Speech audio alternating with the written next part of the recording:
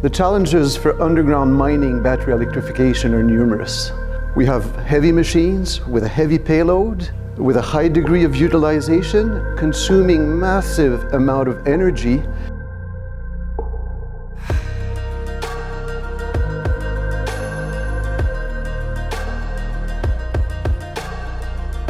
Partnering with Epiroc was, uh, I think, a very value-driven uh, uh, decision. Uh, from Northvolt System point of view, we were looking at how can we bring the best solution for electrification in the industry. We have done a value chain analysis of our CO2 emission and we can see that the vast majority are happening when our products are being used. So if we want to have an impact on the world, this is really where we need to focus our efforts. And this is where our collaboration with Northvolt and the batteries are coming in. So it was a, a very natural, uh, same purpose uh, driven start of a partnership to see how we can uh, develop some customized solution for mining equipment. We've learned a lot over this four-year journey.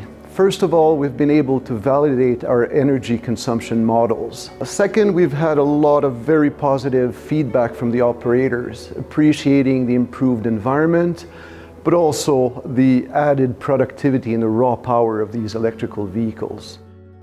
Our first delivery was for Kittilä field trial, where we delivered our first prototypes. That followed our D-launch, where we delivered three battery packs. Uh, in this generation, we also developed our own Northvolt battery management system. So this was a big milestone, uh, and it was followed by extensive testing, where we met CE marking and UL compliance assessment. Our collaboration started with an EU finance project called SIMS, where we together developed three different machines. Since then we've added more applications, so both for underground equipment but also for surface drill rigs, other OEMs and conversion kits. We are all built on the same battery platform developed by Northvolt but then customized for each equipment. So Northvolt will expand to new machines.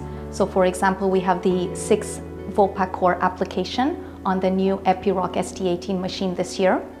Uh, also, we're going to be continually improving the uh, connected battery solution and battery diagnostics, including state of health, in order to ensure the performance and robustness of the batteries over the lifespan. The challenges with these large and powerful machines is that they have to withstand harsh conditions in the mines from shocks, vibrations, dirt and humidity. Besides this, they also have very high demands on safety, reliability, high power output and energy capacity.